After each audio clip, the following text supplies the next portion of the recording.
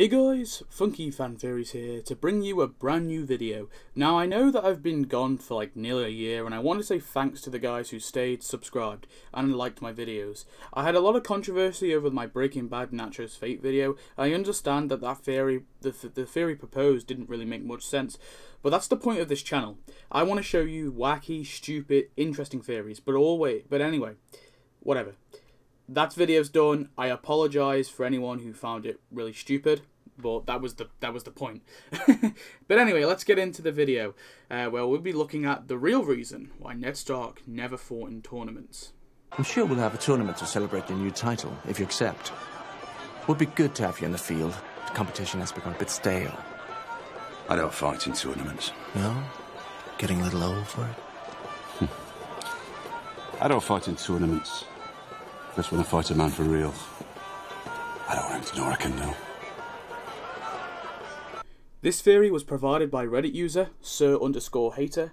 The link to the original theory will be in the description. Ned Stark defeated Arthur Dayne, the greatest swordsman to ever live, at the Battle of the Tower of Joy. Everyone knows it. His children have heard the story a thousand times. The only other man to survive was Howland Reed. Ned wasn't even wounded. Except, it was a lie. Arthur Dayne was better than Ned. Far better. Ned was disarmed, and he would have been killed had Howland not stabbed Arthur in the back.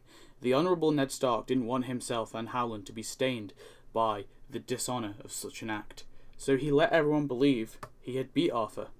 Ned knew everyone would love to see the man who beat Arthur Dayne in a fight, but he didn't win the if he didn't win the tournament by thrashing his opponent, it would cast doubt on the story. Ned knew he wouldn't be able to live up to the hype, and that is why Ned Stark never fights in tournaments. So this is a very plausible theory, and I think it was a nice little neat one to welcome myself back to you guys. Um, I'm really enjoying Game of Thrones season seven. It's been a really good season so far, so I'm excited to see these last three episodes.